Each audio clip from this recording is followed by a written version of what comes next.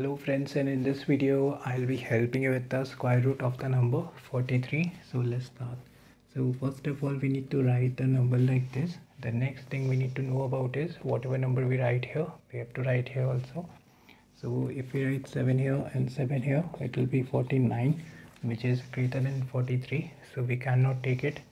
If we write 6 here and 6 here it will be 36 which is good to take. So 6 here and 6 here 36 subtract 7 will be left.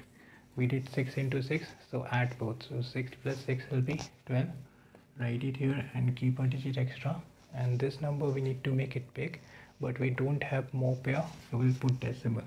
Once we put decimal we can bring pair of zeros down and number will become as 700 now whatever number we write here we have to write here also.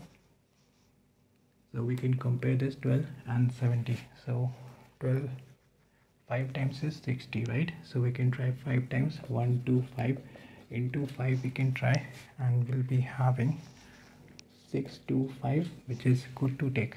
So 5 here and 5 here 6 2 5 subtract 75 will be left. Now 1 2 5 into 5 we did so add both.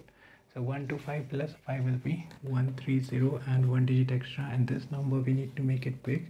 So bring the next pair of zeros down and it will be 7500.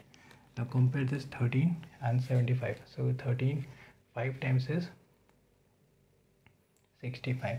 So we can try 5 times 1305 into 5 we can try and we'll be having 6525 which is good to take so 5 here on 5 here 6525 subtract 975 will be left.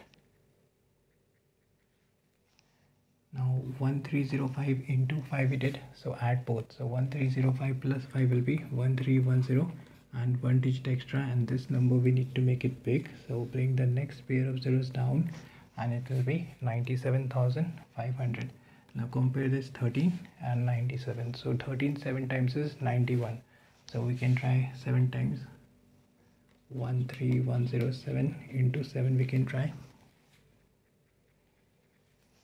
And we'll be having 91,749 which is good to take. So 7 here and 7 here but we don't need to calculate because we got the answer correct up to 3 decimal places. So square root of 43 will be 6.557 that will be the answer. So this is all about square root of 43 so if you found the video helpful please do the like button. Do consider subscribing and thanks for watching